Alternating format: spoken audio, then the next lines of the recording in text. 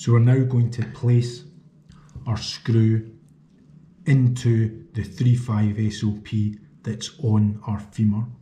So again, we'll take our drill guide for the 3.5 SOP, remembering that it's got a tap end and a drill end. We're using the drill end obviously with a 2.5 millimeter drill bit.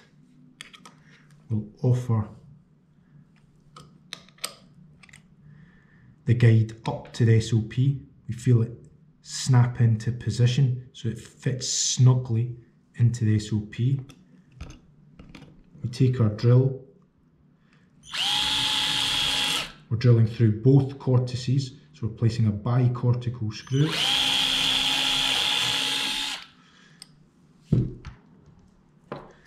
We'll then take our depth gauge, place that through.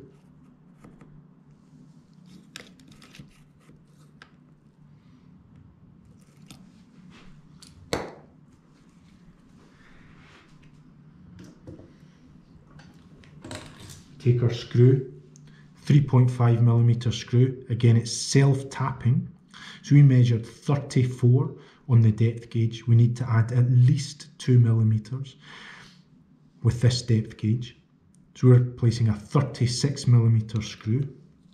Again, we offer that up to the hole, screw counterclockwise till it snaps in. The threads have engaged the threads of the plate.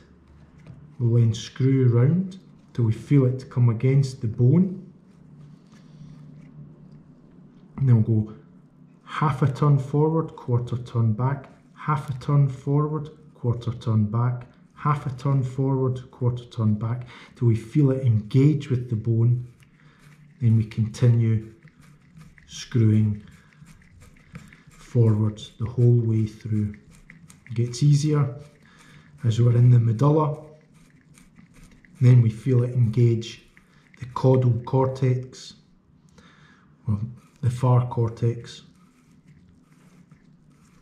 Then we keep screwing till the head engages with the ridge of the plate.